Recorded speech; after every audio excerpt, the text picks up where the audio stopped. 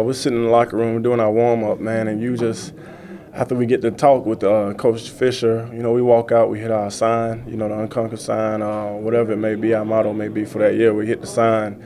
You know, as soon as we step out the doors, it's, you can hear the chants and the war chant just going on. You know, it gets you hyped. And then we go and sit in the tunnel and wait for a minute, man. And it's just like a whole crowd of people, just a mob, just jumping around, ready to go, you know. And feeling is amazing, man, because when you break break between that uh, banner man, it's just like you see all the people, all the noise, man. It gives you butterflies. I don't care how many times you do it, you still get butterflies, man. It's a great feeling. Man, it's it's amazing, man. I'm, I always tell the story. I tell the story like a thousand times, but my first year I went through it, I stopped like halfway through it. I almost got ran over because I was just like oh my God, like I can't believe I'm actually doing this. Like it's really an amazing experience. It's nothing like it. You know, it's it's nothing like it. You know, and I come from a small town. I come from a town where, you know, football is everything. You know, it's either you're doing the right thing playing ball or you're doing the wrong thing. You know, if you're not, you know, that's that's the way it is where I'm from when you're a teenager. So, you know, I feel like it means a little bit more to me than it means to a lot of people. So when I walk outside into that stadium and I see it's filled up and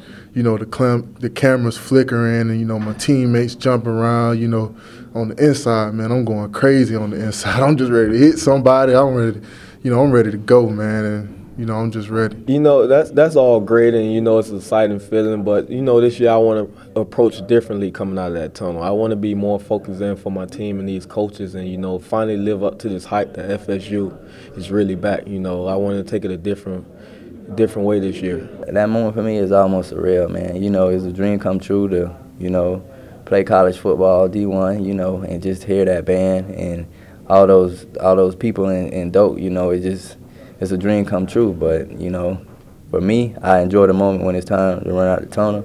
But when I'm done running out of the tunnel, that's it. You know, it's, it's I'm in my zone. I mean, it's, it's nothing like it. And, you know, um, just, just walking out and having all the fans, you know, just standing there, standing over the gate, just to, just to, you know, shake our hands. I know it, it, it makes their day, and you know that's that that's that gives me a great feeling, and especially, you know, most of the time it's little kids, you know, standing off on the side, you know, uh, yelling your name. You know, it, it, means a lot to me, and it's it, it's added motivation even before, you know, we run out out of the smoke. Uh, you know, um, hearing the band, you know, playing playing the music, all of it, all together. It's just it's just an exciting thing, and you know, it's one of the one of the best feelings I've ever had. You know, it means a lot to me. You know, like I said, coming from where I come from, you know, I've been through a lot. You know, and then you know, never did I think when I was you know, 13, 12, 11, you know, one day you're going to be able to lead the Seminoles out the tunnel. You know, so so I'm just cherishing the moment, you know, just every time I get to be there and lead the team out, you know, I'm practicing on being a better leader and being there for my teammates. So, you know, whenever I get the opportunity, man, I just try to cherish the moment and enjoy it. I think it's going to be pretty emotional for me. Um, you know, just just being able to say that I, I came back, you know, from from a broken back, pretty much. Um, it's gonna be an emotional, emotional thing, but you know, once, once, once it kicks off, I gotta get in game mode. You know.